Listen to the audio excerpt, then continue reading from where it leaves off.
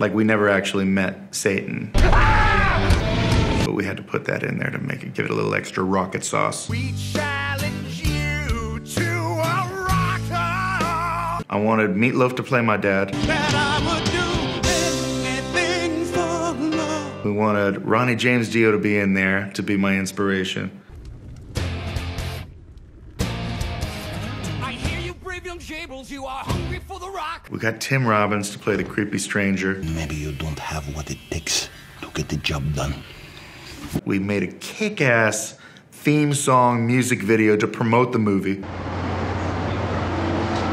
Dude, we're in this. We went on SNL. Greatest rock and roll band, Tenacious D. We did everything you could do, and then the movie came out. We can talk in here. And nobody went to see it.